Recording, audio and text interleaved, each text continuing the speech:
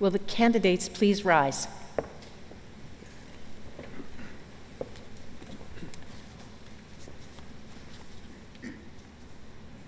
Madam Chair, Mr. President, and ladies and gentlemen of the board, I present to you the petition that these graduates, having fulfilled all of the requirements of the statutes of Athabasca University, may, with your permission, be admitted to the degrees to which they are entitled.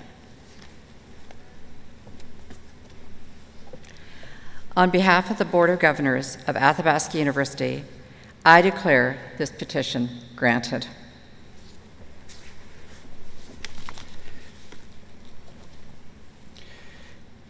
Do you promise, when you are admitted as graduates of Athabasca University, to observe faithfully and to maintain loyally the statutes, customs, and privileges of this, your university?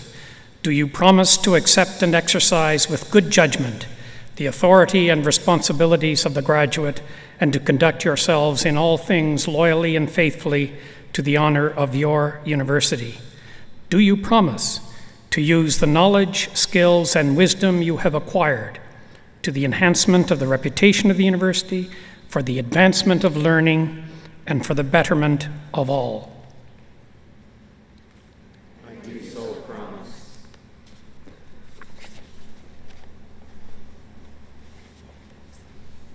By virtue of the university vested in me by the legislature of this province, and with the consent of the General Faculties Council, of this university. I admit you and those in absentia to the degree to which you are entitled and confer upon you all powers, rights, privileges, and responsibilities pertaining to that degree.